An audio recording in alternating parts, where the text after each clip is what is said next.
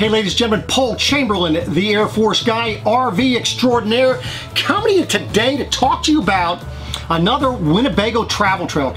And boy, do they have this thing dialed in. They really know what the customers want in a smaller trailer. Now, this is the Micro Minnie. It is the 1808 FBS. Now, for those of you that maybe were looking at the Winnie Drop, uh, the 170S, this one might give you the additional room, a little bit larger bed that you might have been looking for. Uh, also gives you a slide out, a bigger slide out, nicer dinette, so it gives you a few things.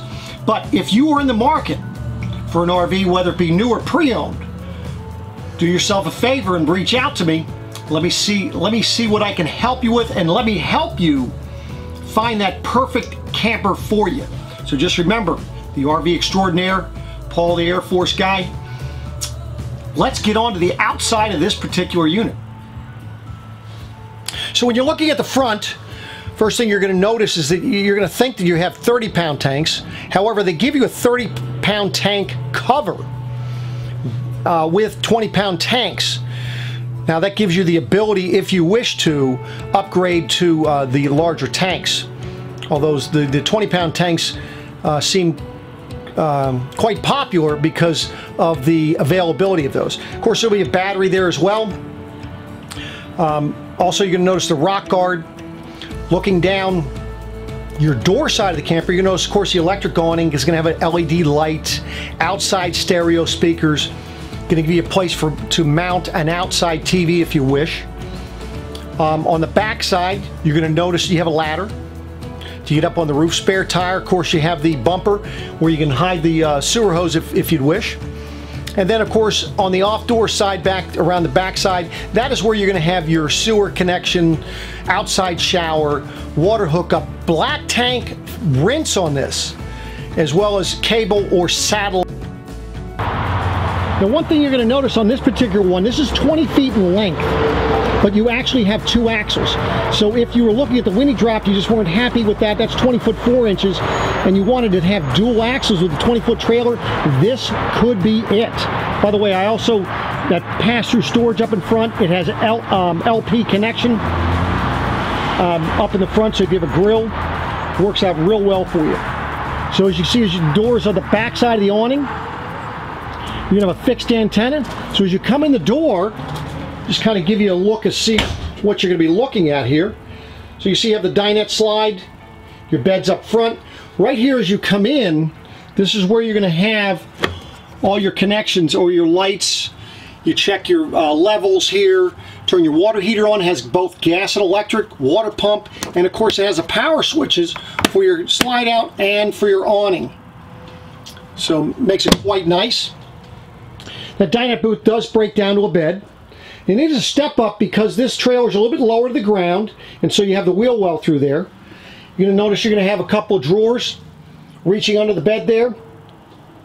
And then, of course, up in the bed area, you're going to see that you have USB ports. You can just set something right on top of that uh, window valance there.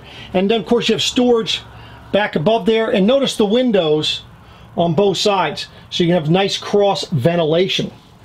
Coming into the kitchen area here, of course, you're going to have your pantry. And look at how deep that pantry is. Standard refrigerator, RV refrigerator. And of course, you do have centralized AC, which is plenty for a 20-foot uh, trailer. You see down below your refrigerator, that's where your breakers and fuses will be, as well as your heater. Nice drawers in the kitchen area. And these drawers, I mean, they do a nice job with the drawers. Do you see the full extension drawer glides. You've got the oven with the cooktop vented to the outside, the microwave. Got the nice sink. You have the window there. And then in the back area there, you're going to have this stereo, this nicely with this new Jensen stereo. The speakers for outside and inside, you can adjust the volume for those independently, which makes it really uh, nice. And then, of course, you can see you have a nice big TV there. And then, of course, this is going to be storage in this area. So you see you have lots of good storage. I mean, they've thought things through here. And then in here is going to be the bathroom. Bathroom's going to be kind of basically the same thing as what's in the 170S as far as amenities. You're going to have the corner shower, of course with the curtain, power vent fan. Again, ladies and gentlemen, the reason for that power vent fan is you don't have to have a window open when you use it. Course, good storage down below there, your sink, as well as the medicine cabinet and light. So that is the, the bathroom.